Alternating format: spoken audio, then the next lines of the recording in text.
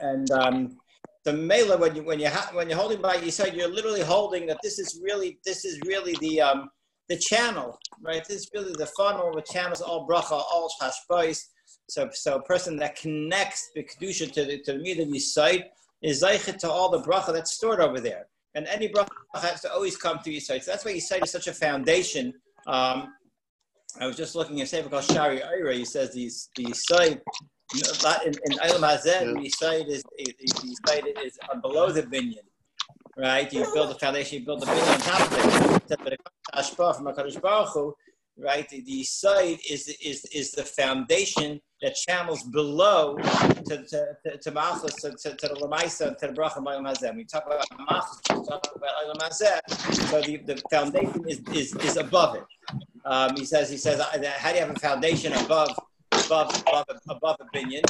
Says, we have, well, let's say you have uh, you have fire, right? What's the foundation of fire? Foundation of fire is the oxygen that it's burning from above it, right? So mainly fire by fire, you have this idea that you have, you, you by ruchni the foundations are, are, are above. Right? Say we build we build we build we build uh, bottoms bottoms up.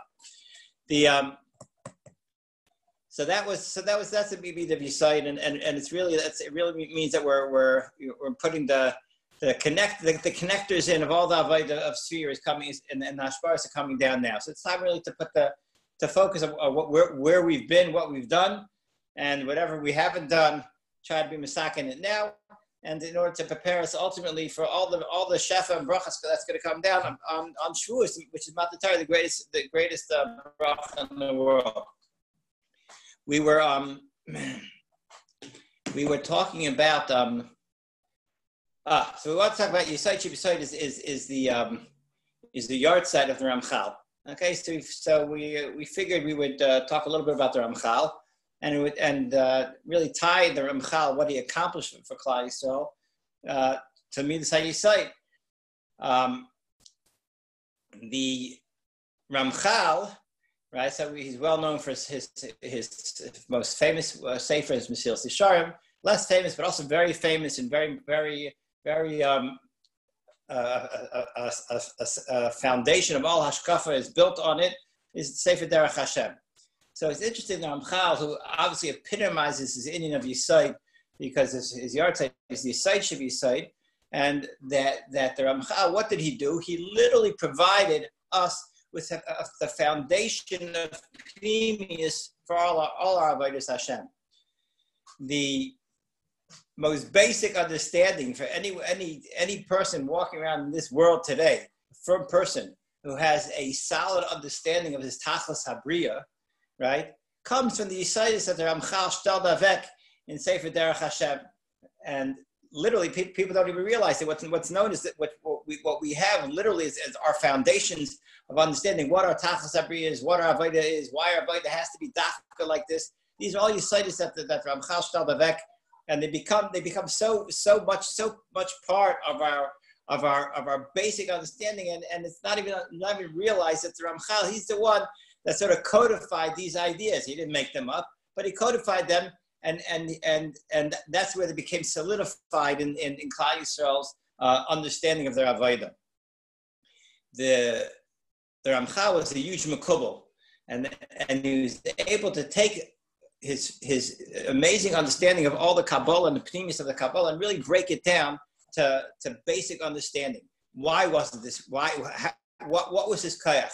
So the they say that the the Vilna Gaon, when he saw the Sifri the Sfarim of the Ramchal, he was like blown away, and he says Kabbalah is all is all mishalim. And most people they can learn a lot of Kabbalah and know a lot of Yisaidis and, and, and have an understanding of, of, of, of, of very, very detailed facts. However, to take all the Yisraelis, which are, are just mishalim, right? Because when you talk about Kabbalah and Ruchnius, everything's a mashal because we have to, we, we can't talk about something we've never seen, we have no shaykhs to. So everything that's being, that's being described is always a, a, a, a mashal. And to, to, to learn all the mishalim and to be able to break the mashal down to the nimshal, right? That's something that's, that's a shlemus in this area. And when the, when the, the Vilna Gaon read the Sfarim of the Ramchal, he said he saw it was clear from the from from the Ramchal, different than most big tzaddikim and Talmid Chachamim, he saw that the Ramchal really understood the Nimshal. And in as much as Ramchal wasn't, he, he, he really understood the inner mechanics of everything, he was really able to apply it to Lemaisa. he was able to really bring it down to Lemaisa to all of us. The, um, let me just get my Mesilas Yesharim. Just I want to just say a couple things from, from, from Mesilas Yesharim.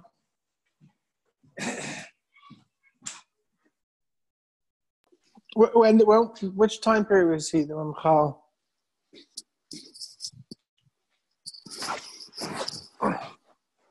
Oh, he's gone. I believe it was the late 1600s, right after Shabtai Tzvi, which was, uh, ask Rabbi about it, but the fact that he lived right after It was the 1700s. 1700s? Yeah, check when he was nipped. By the way, this is a picture of him behind me. supposedly. Where, where? Everything, Ari, everything is supposedly.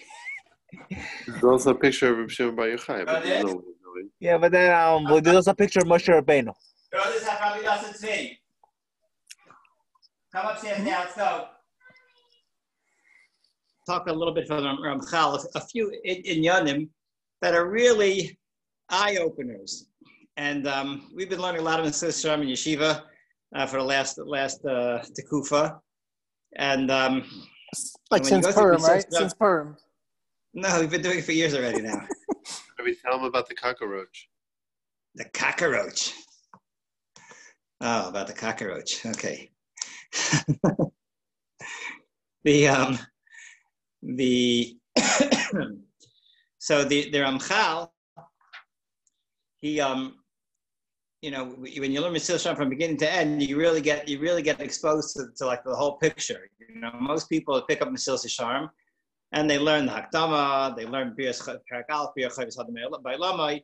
They start Zahiris, and by then they get a little bit burnt out, and they and they never really get to uh, to Perak Yitches and Yates, Beber Midas HaChasidus, right? And you start getting to Chasidus, and you start getting to to to to Hira, and you start getting to Anava.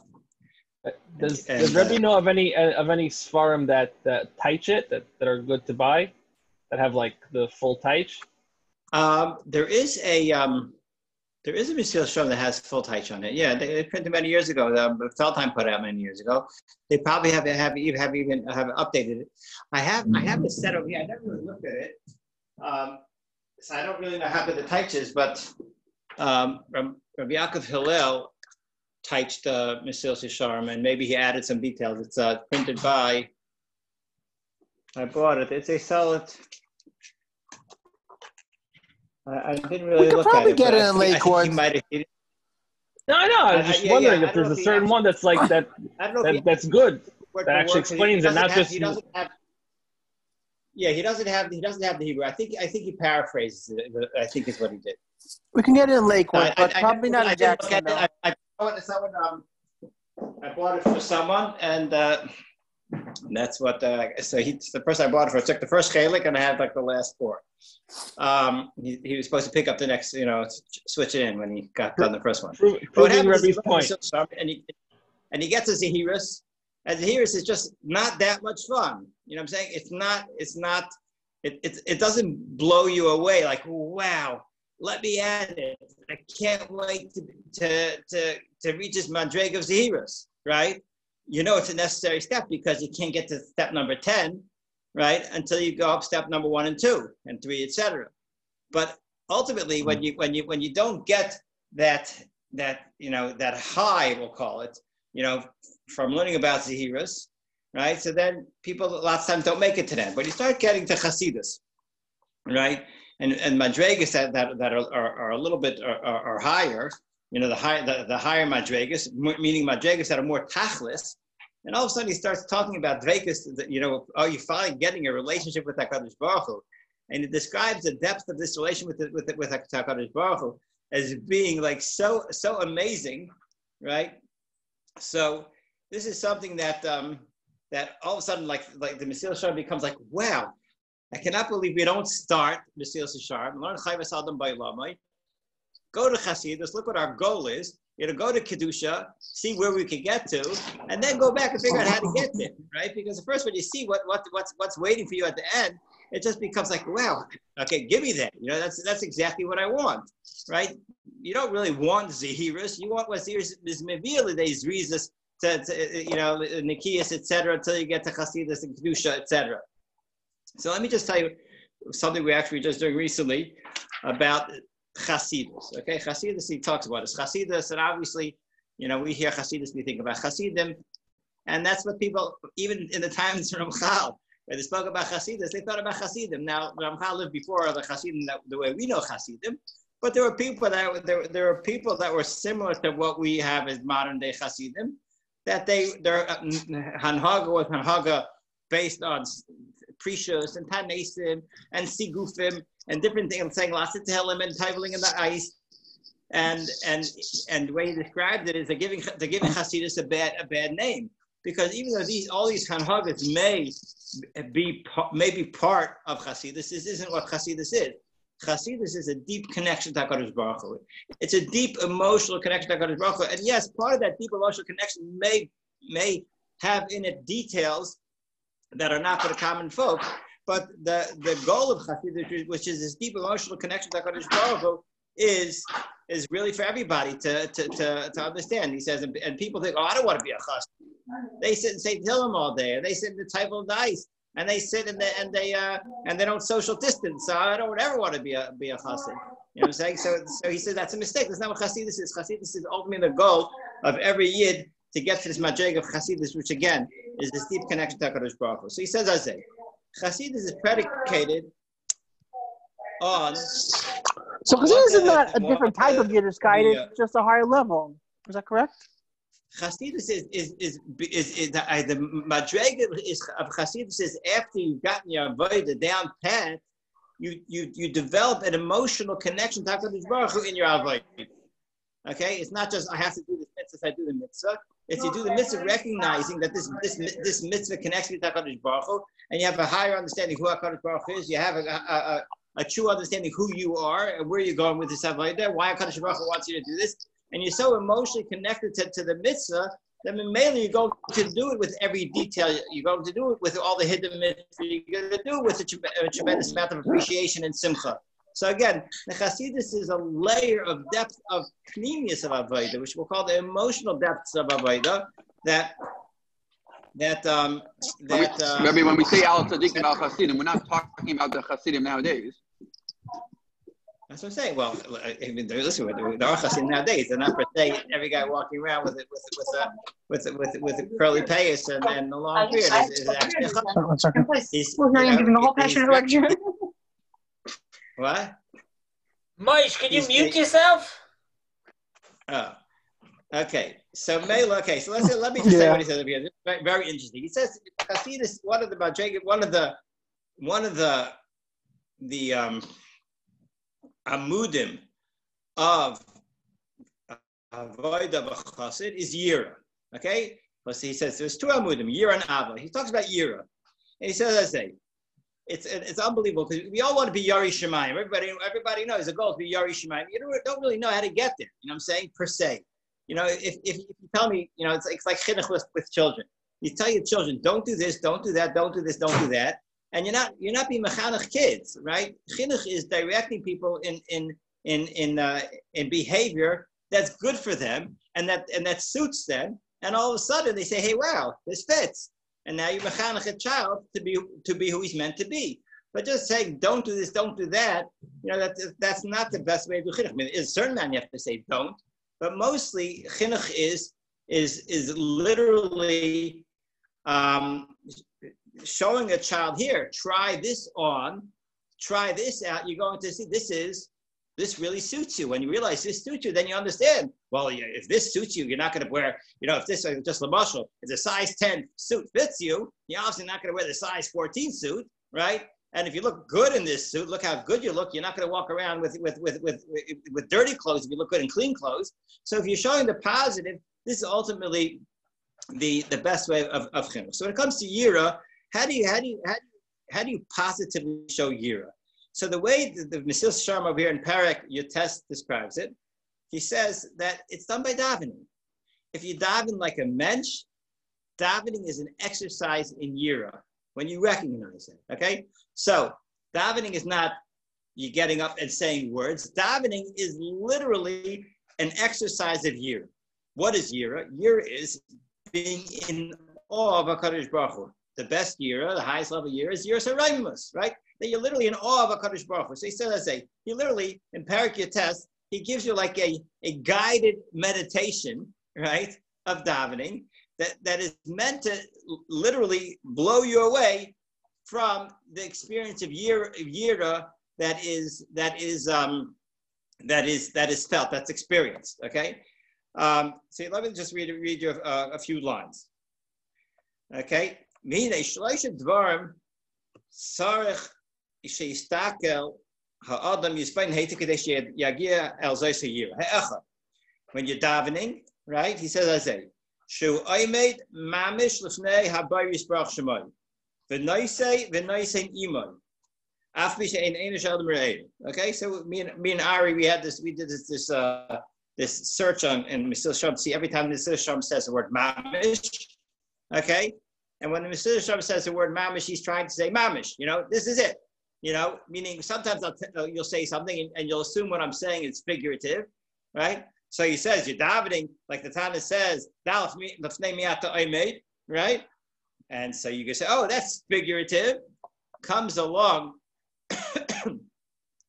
comes along the the Ramchal says, no, this is not figurative, this is literal. You're oimed mamish lifnei habarach.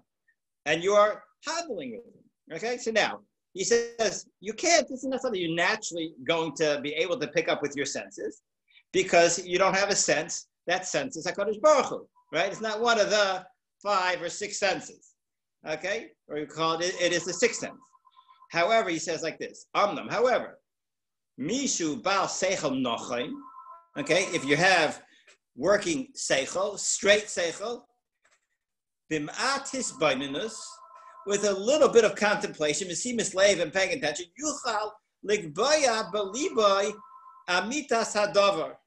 Echuba v'nosei v'nosei mamish imayusbarach. With a little bit of contemplation, if you have um, if you have seichel nochain and ma'at hispainus, a little bit of hispainus, right? A little bit of contemplation and paying attention, you will be able to actually recognize that mitzvah davar that when you're davening with Hakadosh Baruch, you are literally talking to Hakadosh Baruch. So that's step one. Okay, step one of your guided meditation.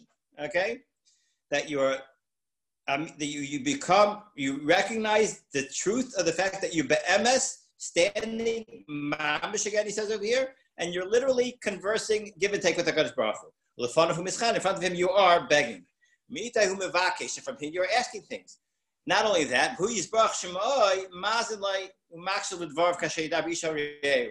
Okay, and Hashem is listening exactly the way Hashem, uh, you, when, just the same way Sani is listening to me right now, right? That is how Hashem listens to Sadi when he davens. Now, the um, now so that's step one. Once you've reached step one, now we give you another thing to think about. Start thinking about how Al Rabbi Musa is how great a Kaddish Baruch is. A Kaddish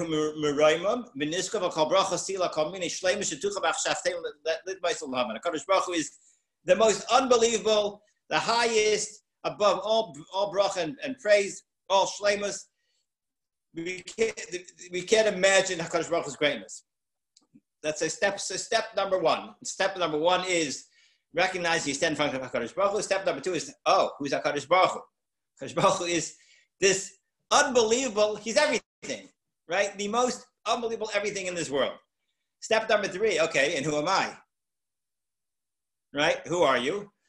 And um, when you, the next step is you miss misbein al shiflas adam prisusai All of a sudden, you see there's a huge gap between this being Hakadosh Baruch Hu that you're standing in front of and yourself, and you get blown away that you cannot believe that little you is sitting in front of Hakadosh Baruch Hu. Not only are you little, you're flawed, right? Not only you're a little bit flawed, you're not only very little, you're a lot flawed, right? And your father of Baruch who is who is huge and totally shlemus, right?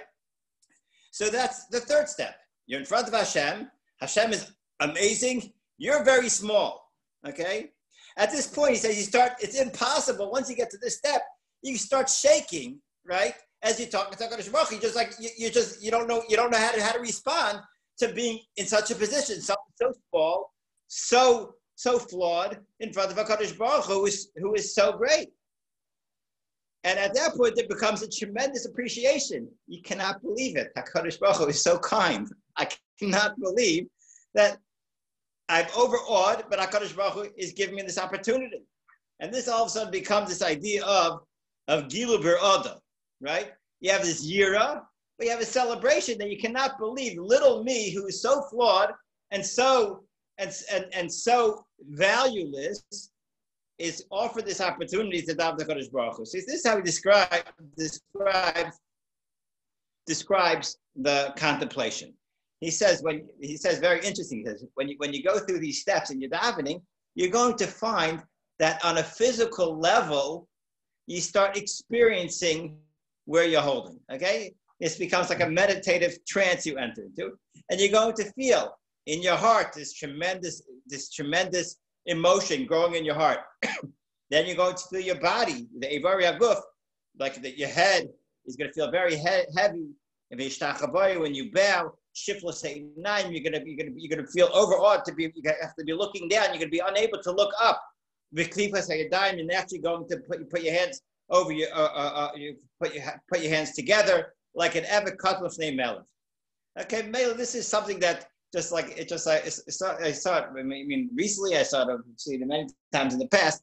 But the way he described step after step, Stelzavek, you a year, three times a day, have this opportunity to not just daven, but to literally exercise the midas a year and, and exercise a year to walk away from your davening. Ah, to a yari shemayim. That is that is something that is, is an opportunity. We all have to chap. Davening is is is, is being kind of the mid of year shemayim and this connects to HaKadosh Baruch which literally fuels us for the rest of the day. That's uh, something to come to the, yard center Ramchal. And um, okay, let's let's let's learn a little bit of Makkos over here.